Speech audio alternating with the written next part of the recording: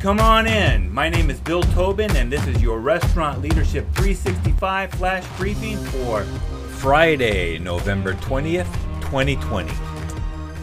On our final day of this week's focus on planning, we're going to discuss shift planning. In most restaurants, a lot of planning has already been done well in advance of the shift. Any forecasting or scheduling was technically planning Hopefully, checklists have been done so that leaders can accomplish all of the things that are expected of them. If you took reservations, then there is an element of planning in that as well. Ordering of supplies and food prep are also pieces of the planning puzzle. By the time a leader walks into the restaurant, a great deal of planning and coordination has already taken place.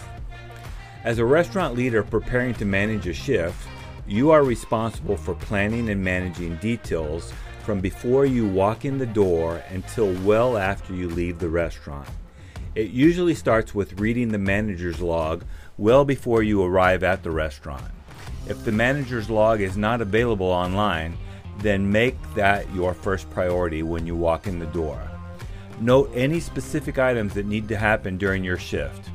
After reading the manager's log, a prepared leader should proceed immediately to review their checklist and use it as a reference for the rest of the shift to make sure that routine tasks are completed. After reviewing the manager's log and the checklist, it's time to review the reservations for the shift.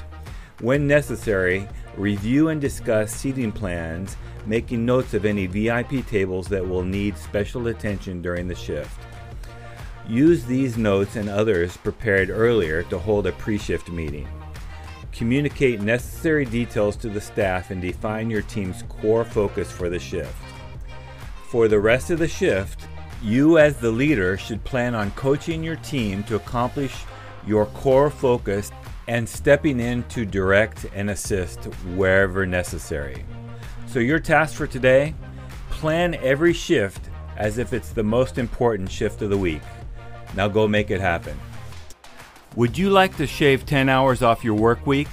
Let me know if you'd like to attend a webinar on proven tips for saving time in the restaurant business by texting me at 808 201 0550 or direct message me on social media or at restaurantleadership365.com.